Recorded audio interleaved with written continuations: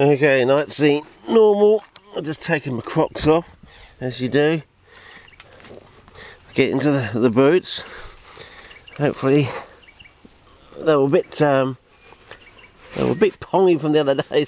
Stacking the car out a bit um, from the other day, but you know what can you do? You know, you can't go be buying multiple uh, pairs of um,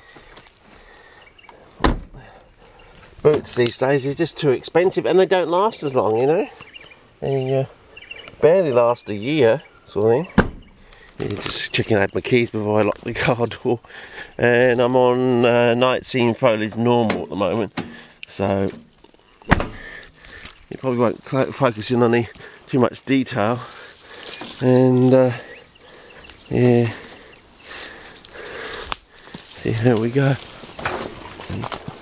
Now this time I think I'm just going to follow the fence line along carefully, and uh, so I don't do too much I've had two coffees this morning, so I've got plenty of fluid within me. So, you know, and and we're not, and the weather's coming in, sort of thing. So it's no, it's not going to be, a, it's, it's not a super hot day.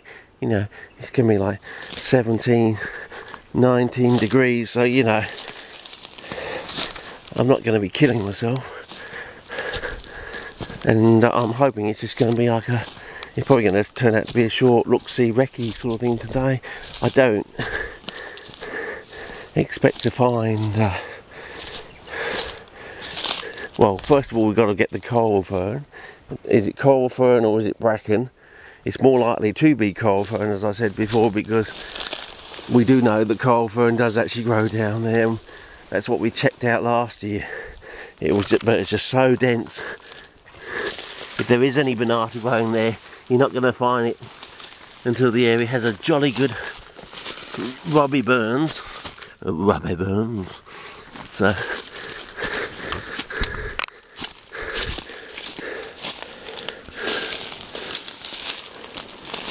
So, uh, and as you can see, the bracken is beginning to die down. Oh, it's getting really cool, really cool.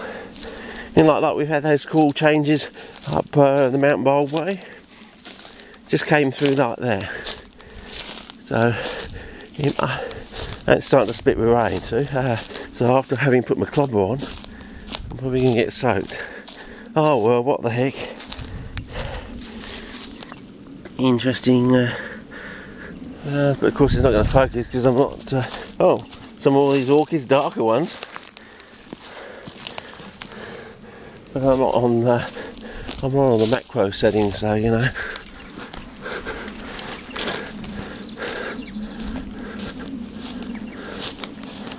maybe I should go through here.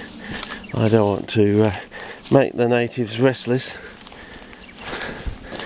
And uh, looks like some kangaroos had a bit of a rut down there or something. And we'll see how we go. Oh, that one looked like it flowered last season. That one, there. No, I better not hold the camera up, we'll get, we'll get specks on the... Uh,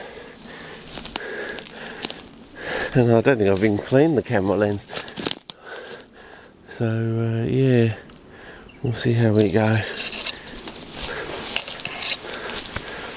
Oh, lichen, rather nice.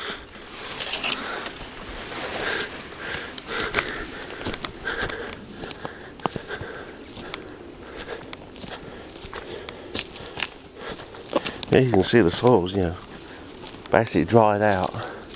So uh, looks like there's a little bit of a path here that someone's been using. So we might as well make use of that.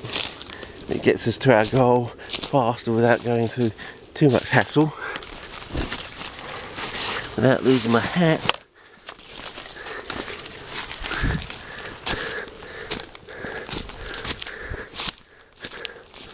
Okay.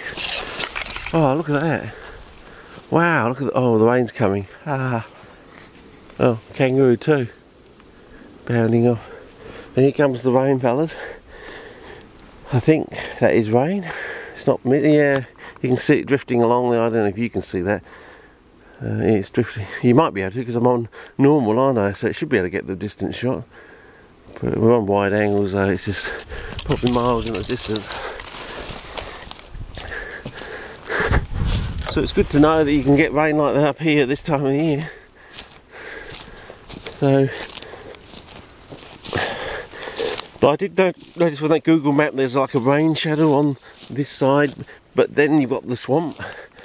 So, uh, I, I, I couldn't work out last year whether the the stream that was flowing is actually just a, a, a river or it comes from an actual um, a very large seep or it's an actual spring or something. Um, yeah, but to actually have the coral fern there does imply you got a permanent water supply. You know, the creek doesn't even dry out sort of thing. So, oh well, you got all the all the coloured flowers anyway. You got the purple, the yellow, the orange, the white of the um, yeah, you even got some in Epacris impressa hanging on. Oh wow, yes. Have you what? Well, there you go. Pity I'm on. I'm not on macro. So uh, yeah. So uh, you can compare this footage to the uh, the hot times we had last year. Well, bashing our way through sort of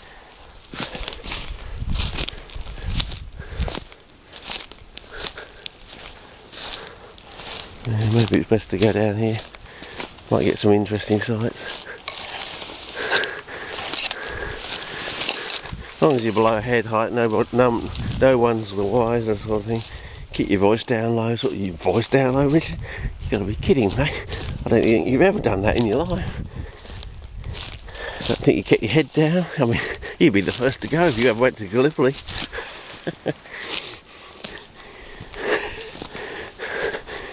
sniper take you out enough. Oh, here we go.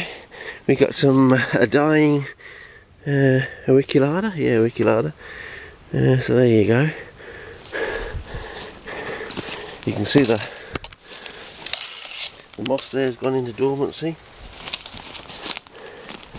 And we're working on our way through because I want to get to the end of this sort of big long track that I have and then from there I turn right rather than going along the, the ridge line like we did last year and coming onto the swamp right at the end. I'm going to go to the end there and go veer off to the right this time and go down the hill to this rather large meandering swamp to the right which looks like it contains similar vegetation and looks like we've got some sort of flower coming. Probably goes along with the nice yellow flowers. I mean, we could actually go. Oh, it's so cold. Getting so cool now. Amazing. Oh, we're coming to those. Uh, remember these concrete posts we were talking about before? So, uh, yeah. We've been going for so long. I think we're getting near to the end of the track. So I think, I think, yeah, I think it's turning around there. So it's time to start a new clip. I think. Okay, over and out for now.